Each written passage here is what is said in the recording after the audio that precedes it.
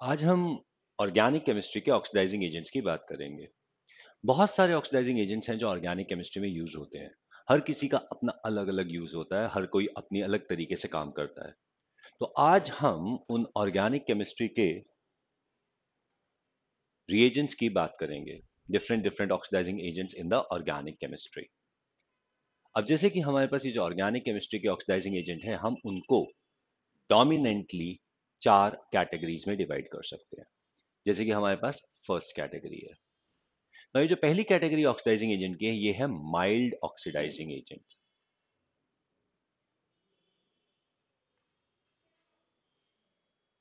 these are mild oxidising agent उसमें जो सबसे पहला नाम आ जाता है, वो पहला नाम है हमारे पास फेलिंग्स सॉल्यूशन का। Fehling solution is a mixture एक मिक्सचर है of copper sulfate along with sodium, potassium tartrate. इस सोडियम पोटेशियम टार्टरेट को रोशल सॉल्ट भी कहा जाता है ये जो मिक्सचर है ये ब्लू कलर का है अभी जो ब्लू कलर का मिक्सचर है, जिसमें कॉपर सल्फेट की वजह से कलर आ गया है, ये कन्वर्ट हो जाता है Cu2O में, जो कि एक रेड प्रेसिपिटेट है। अब यहाँ पर ये जो ब्लू कलर है, ये ब्लू कलर खत्म हो जाता है और ये रेड प्रेसिपिटेट यहाँ पे सामने बन जाता है।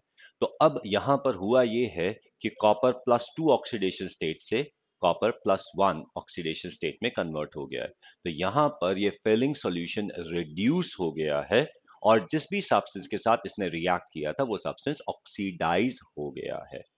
तो यहाँ पर Fehling solution is an oxidising agent अब ये फेलिंग सॉल्यूशन क्या क्या कर सकता है? सबसे पहली चीज़, ये फॉलिंग सॉल्यूशन सारे एलिफैटिक एल्डिहाइड्स को ऑक्सीडाइज कर देता है। ये अल्फ़ा हाइड्रोक्सी कीटोन्स को ऑक्सीडाइज करता है। अल्फ़ा हाइड्रोक्सी कीटोन का मतलब यह है कि हमारे पास है C H two O H और फिर यहाँ पर सी डबल बॉन्ड ओ है। तो this is what we call as alpha hydroxy ketone तो ये अल्फ़ा हाइड्रोक्सी कीटोन को ऑक्सीडाइज कर देता है। ये एरोमेटिक एल्डिहाइड्स को, जैसे कि बेंजाल्डिहाइड को ऑक्सीडाइज नहीं करता। तो ये फेलिंग सॉल्यूशन का लिमिटेशन है। फेलिंग सॉल्यूशन के बाद let us get along with the next compound जब हम नेक्स्ट कंपाउंड की बात करते हैं